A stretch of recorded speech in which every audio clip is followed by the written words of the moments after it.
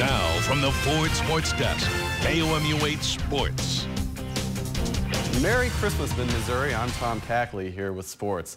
As 2015 nears its end, we take a look back at a championship run by a Missouri baseball team that wasn't the Cardinals. The Kansas City Royals became the world champions for the second time in team history this year. It was a run few saw coming, but when the Royals faced familiar challenges and opportunities, they took advantage. But for the full story of the playoff run, you'd have to go back another year to the 2014 season. The moment Salvador Perez had been dreaming of arrived on October 30th, 2014. The Royals catcher had a chance to win the World Series with one swing. Popped up. Send the ball. In foul territory. Giants win.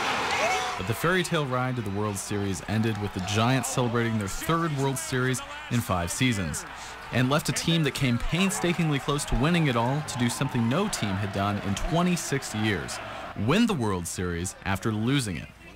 Baseball Prospectus's computers expected the Royals to go back to their early 2000s form, projecting only 72 wins for the 2015 season. That was off by 33. The team roared through the regular season with a chip on its shoulder, winning the AL Central and clinching home field advantage in the playoffs with defense and timely hitting. No way. What? But in 2015, it was a much tougher road to the World Series. The Royals were six outs away from never making it past the division series. Houston Astros led the Royals 6-2 in the eighth inning, with Kansas City facing elimination. If it sounds familiar, it is. In the 2014 wildcard game, the Royals trailed by four runs in the eighth inning, with Kansas City facing elimination. They won that classic in dramatic fashion, and they did the same this year. Breaking ball, ground ball up the middle. Correa, he misplayed it. The Royals then put together a five-run eighth and never looked back from there. Kansas City won the fifth game at home and then beat the Blue Jays in six games in the ALCS. Moustakas. Royals win the pennant. In the Fall Classic, Kansas City took the first two games at home and split the next two in New York to hold a 3-1 series lead going into Game 5. In that game, the Royals trailed 2 to 1. Salvador Perez came up to bat, and the tying run stood 90 feet away in the ninth inning of a decisive game in a World Series.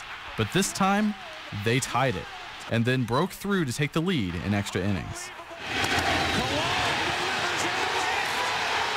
In to score is Dyson. And then Wade Davis shut the door. The one-two again.